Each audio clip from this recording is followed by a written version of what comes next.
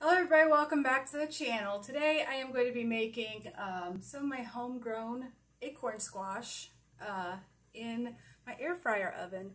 Now a little backstory about my squash situation this year. I was introduced to squash bugs here in northern Indiana this year and it, they kind of took over the whole area so it wasn't just me. But needless to say, um, I only got two acorn squash off my plant. So of course I'm going to be saving these seeds, right?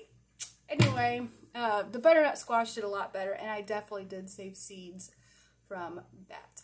Um, anyway, I was watching um, The Gentleman, and I was trying to think of for a while what his name was. It is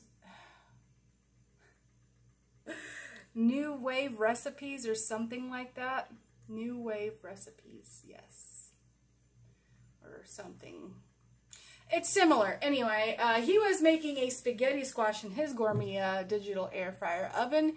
And so I thought, well, why not use my acorn squash? The last time I cut one of these bad boys open without nuking it first, I totally sliced my thumb and had to super glue it shut. So since I want to save seeds, I won't be nuking these first to cut into them. So I'm going to put my brave face on and I'm going to cut them halfway, scoop out the seeds, and I'll get back with you after that point.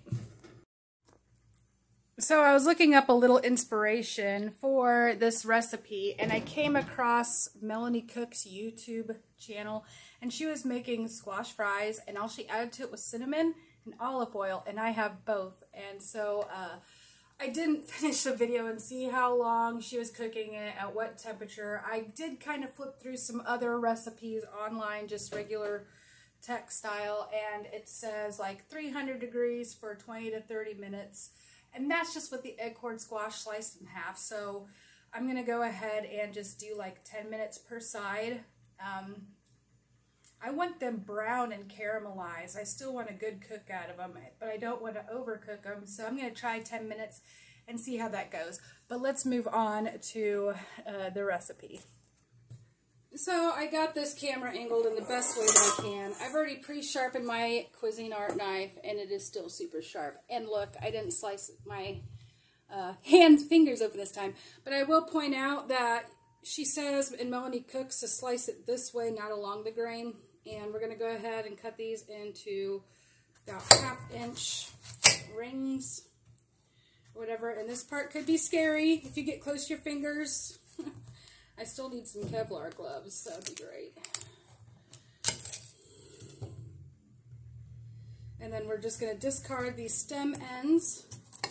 And obviously I'm going to put mine in my compost feed it to the worm bin, either or. Right now it's just going to hang out to this side. Then we will cut the rings in half. Stick them in a bowl or a plate because we're going to have to coat these with cinnamon and oil, so whichever you prefer. And that's it, and so I'll get back with you since that's kind of easy. Alright, so I'm going to toss in some olive oil.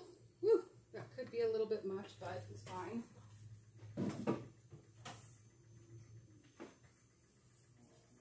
And some cinnamon. And if I had brown sugar, I may or may not put that in, but I am trying to stay fairly low carb, low sugar since I've been gaining weight, so that part is optional.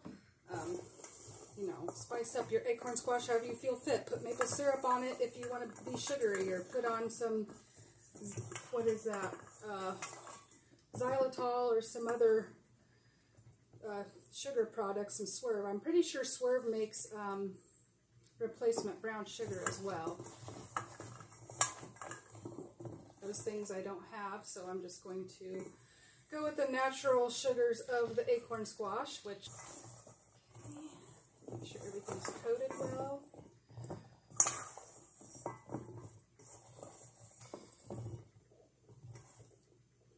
Okay, now I have wax paper down on the tray part of my air fryer. It is not the drip pan. I've been using it for a secondary drip pan, but it is not one. So I'm actually going to use it for my acorn squash. I don't know how many acorn squash slices I'll be able to fit in here in one batch, but we'll give her a good go.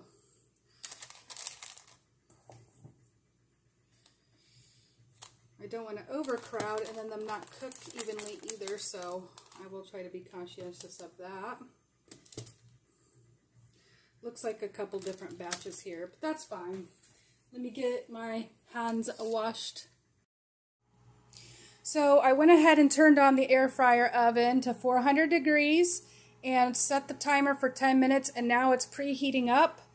And um, I bet you if I put wax paper on this basket up here that I would be able to put in two layers of acorn squash. However, since this is new to me and I don't know what I'm doing, I don't even have an exact time for this recipe. Um, I am just going to do one tray at a time. I still have some in the bowl. Um, maybe some other time I can experiment with putting in two racks at once and see how long that takes and how I have to flip them and all that. If any of you have any experience with that, please let me know the differences, how it turned out for you. I want to learn and would be excited to hear about it. So I don't think you need me to sit here and uh, film this preheating or when it adds food. So I'll let you know after the 10 minutes is up how it turns out. They also said along with the uh, air fryer this little cheat sheet chart and I put it on the fridge so that either Ryan and I or the kids can look at it, uh, reference it, what you want to cook. Now what's funny is vegetables, it does say uh, temperature 400 degrees, time 10 to 8 to 60 minutes. Hang on. Okay, back where I was. I did flip over the the acorn squash and did hit the vegetable setting and it did take it to 400 degrees for 25 minutes. Obviously I changed it back down to 10 minutes after I flipped over the acorn squash. Anyway, default time it does say it is 25 minutes. Amount 16 ounce one piece pieces tossed with two tablespoons of oil. That's the tray that I've got and it'll tell you tray posi position. On the back it just basically tells you basically how to use it. But I like this little cheat sheet right here. I think it's going to come in handy. Um, I did not have one inch pieces and 16 ounces. Like, yeah, I literally did not weigh and measure it. But that is, um, it is a pretty good, you know, reference. So I did want to share that. No, yeah, it's telling me to add food. It's already in there. so, yeah. Okay, a couple observations here it is pretty smoky in the house. And another gentleman I was watching that was uh, making like air fryer fried chicken with the Louisiana batter for fried air fryers. And he was also making fried fish. Well, what he pointed out was he likes avocado oil as far as a spray for the air fryer. And why he says that is because it has a higher smoke point, which is 500 degrees for avocado oil which means that it puts out less smoke in your home. So uh, taking that into consideration, when I do get paid next, um, I get paid biweekly. Um, I am going to purchase some avocado oil. And I've also noticed people are just using like regular like hair salon sprayers, you know, you put water in it, wet down the hair or whatever and putting oil in that and using that for a sprayer instead of buying cooking spray in an aerosol form or what have you. And that may be more cost effective. So I'm going to look into that and figure out which is the best option. Um, other than that, uh, it's not like black smoke or anything. It's not choking anybody out. It's just, you just notice it. Um, so there's that. Now, I do want to say, when I before I did flip them over, I did notice that it does look pretty well cooked, and I think the temperature and the time is great. But obviously we have two minutes left, so I'm not trying to jump the gun yet and draw total conclusions yet. Oh yeah, the other observation I wanted to point out was this little spot down here seems to leak oil or grease or whatever. So just keep a paper towel or a washcloth or something handy right there which I'm going to start doing because in that spot, for some reason, it keeps dripping. So that's just something else I'm pointing out. I don't know if it's like that with all brands, models, whatever, but it is a little bit of a hassle or irritating, but it's not a big deal. All right, folks, our food is done. Let me get set up here and we'll get her out. Excuse me.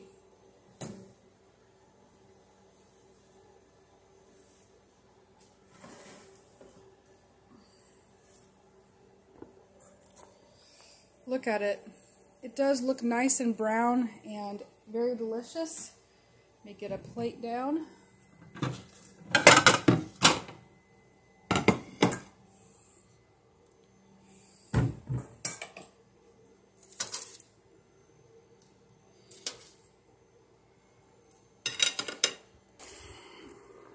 So there's a little more than two batches in that needs to go in there, but that's fine. Now I'm going to give you a taste test.